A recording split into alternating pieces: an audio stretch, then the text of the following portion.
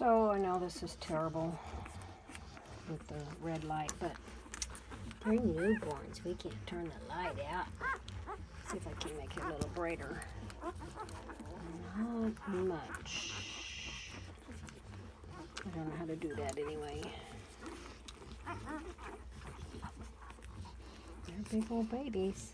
Now you've got the hang of this. Nursey, nursey. Of course, you only got nine tits. One of them doesn't work well. It's a bit inverted. What think, Mama? She loves her babies.